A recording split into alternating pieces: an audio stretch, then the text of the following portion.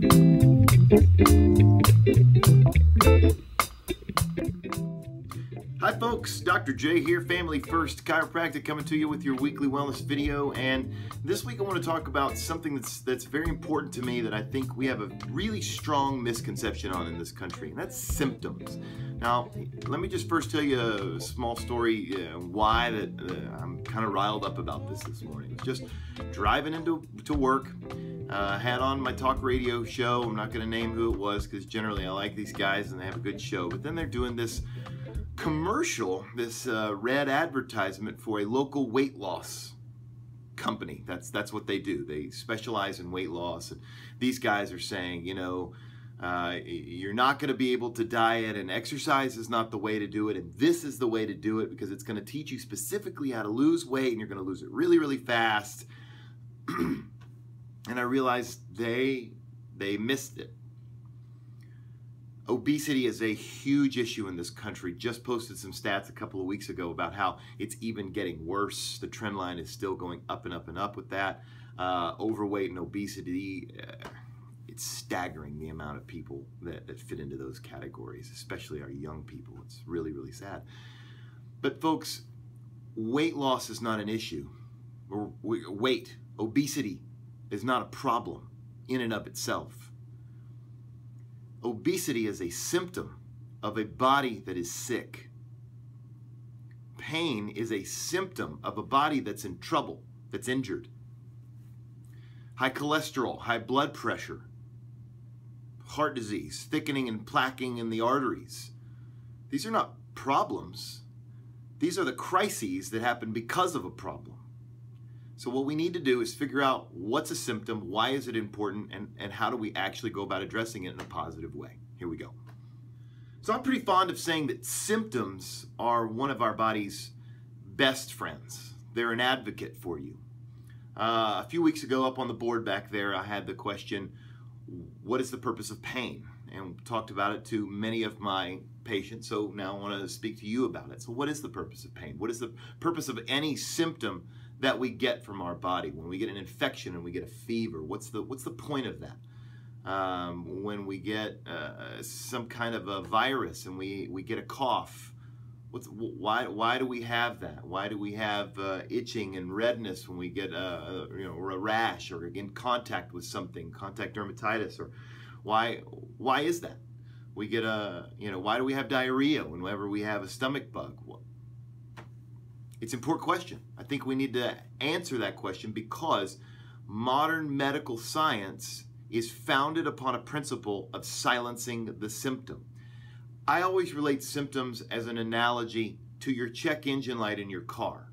You would not purchase a car that didn't have a check engine light, that you just had to guess when there was something wrong under the hood, because most of us are not car experts and just the feel of the car and driving it and the noises it makes and the, the, the shimmies and things like that aren't enough information for us to know, hey, this car is uh, working properly or it's not. So they give us a light to say, hey, you need to pay attention to your car because something is not exactly right. Now, so you wouldn't buy a car without it.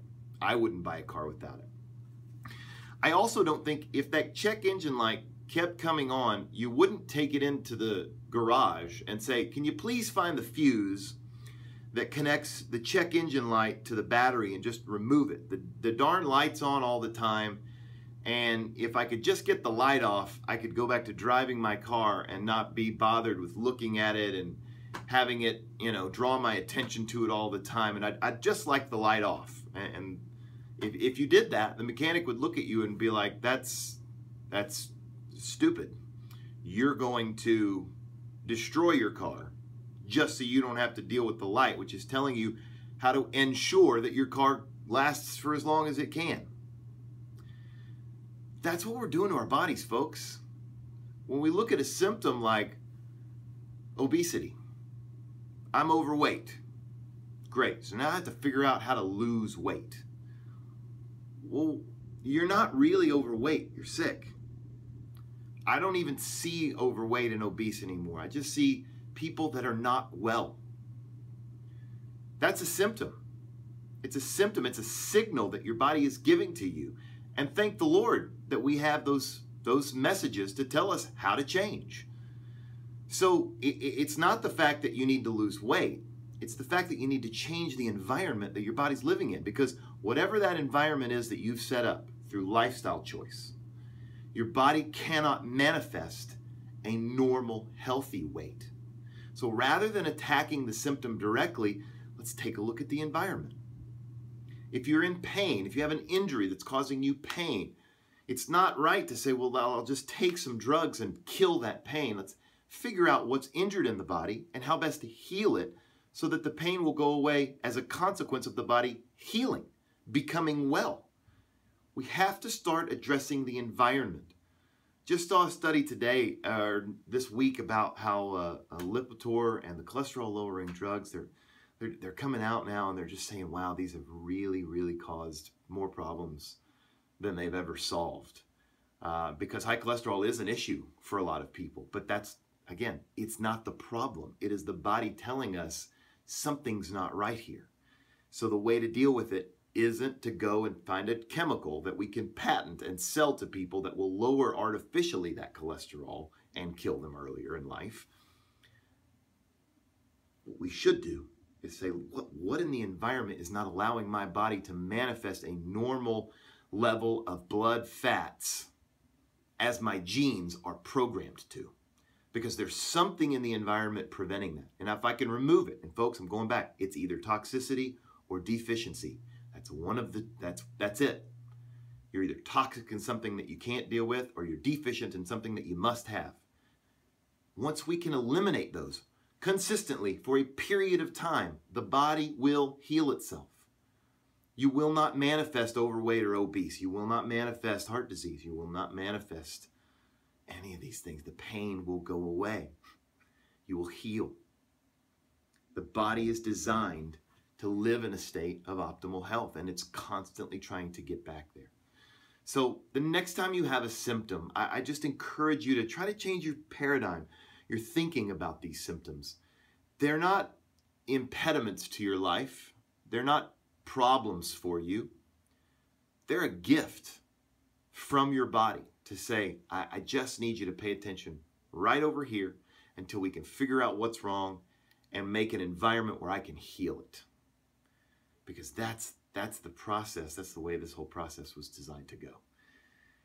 Chiropractors are going to help you by reconnecting you with your nervous system in the most optimal way because the nervous system is going to drive that healing process. So this is a great place to start. If you're really looking at, man, I'm, I'm, dealing with symptoms and I'm managing all of these diseases and these symptoms of chronic illness, and I really want my body to just heal from them, then let's have a conversation about how chiropractic can form a foundation for a wellness lifestyle that can end up creating an environment where your body has no choice but to manifest optimal health and healing. That's what we're doing here, folks. So next time you hear somebody say, come to this weight loss person place because we can show you how to lose weight, just think that's that's backwards thinking. I'm going to get myself well and allow my body to modulate its weight the way that it was designed to in my genetic programming. And the next time you say, here, here's a painkiller, just dampen those signals that your body's giving you to tell you that something's wrong. You just say, no, that's backwards thinking. That pain is telling me where to pay attention and when I'm done paying attention, when the body is actually healed. Symptoms are our friends, folks. We just need to pay attention to them and treat them as such. And we can learn a lot from it. So that's your wellness video for the week. I hope you liked the tip. I uh, hope you had a good 4th of July. We'll see you next week. Cheers. Don't